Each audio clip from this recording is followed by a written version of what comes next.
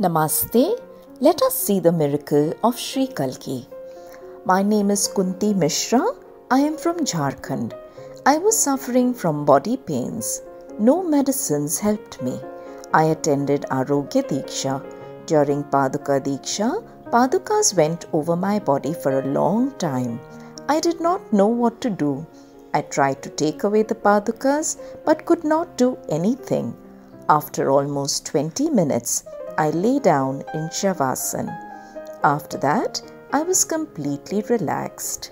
Now, I don't have any pains. I am enjoying every bit of work at home.